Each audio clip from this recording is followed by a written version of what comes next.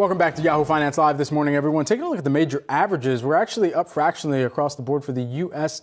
major averages here. The Dow, the S&P 500, and the Nasdaq all in the green right now. So, with more on what's taking place early in today's tape, let's get on over to Jared Blikre over at the YF Interactive. Jared, good to see you. Thank you. Day three of the Santa Claus rally, and we see green on the board today, but taking in stock what's happened over the last three days, we can see the Dow is just uh, barely even there. This is the futures, but it'll suffice for now. The S&P 500 just barely green as well, and the Nasdaq, which is up half a percent today. Well, similar story there. So so much for that little exercise. Now I want to go to the bond market. A little bit of a reprieve today, at least in uh, some of the tenors. Five years down two basis points. We're going to see the 10 years down a similar amount, and the th- three basis points in the 30 year that is down three basis points. But want to show you what's happening happening on the very short end of the curve. We got the 13 week T bill yield uh, up 14 basis points. So let me just show you a chart. This is a three month chart, might be a little hard to see, but this is a line. So we are at the highest level. Let me put a max chart. This is the highest level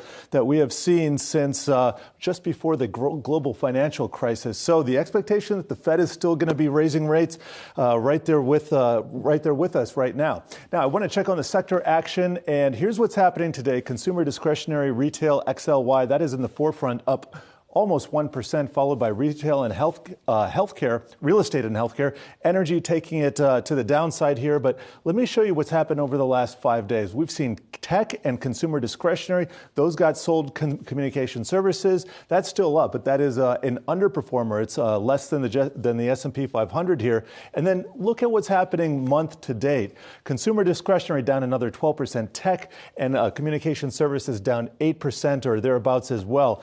The fringier parts of the market, along with the mega caps, are getting sold here. Here's what's happened on a month to date basis.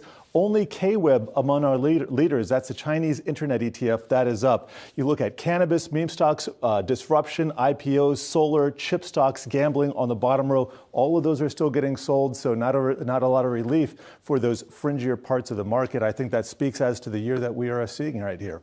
Indeed, it does. Jared Blikre, thanks so much.